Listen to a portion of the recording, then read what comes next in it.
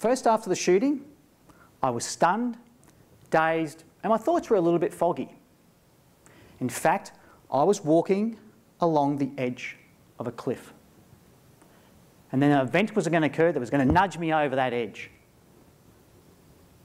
Seven weeks after our shooting, Dog Squad Officer Norm Watt attended a domestic violent incident. Norm was shot once. Norm died, and for me, this triggered the full effects of post traumatic stress hyperarousal, depression, anger, anxiety, dreams.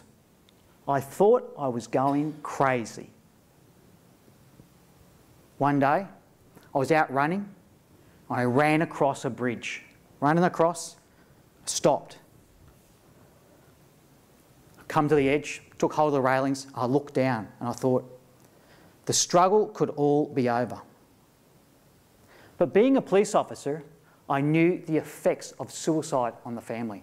And I said to myself, I cannot do that to my mum and my dad. So I turned and I continued running. I then did one of the most courageous things that I've done in my life.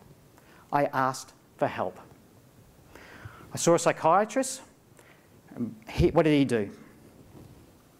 He stabilised my condition. Antidepressants, sleeping tablets, anti anxiety pills.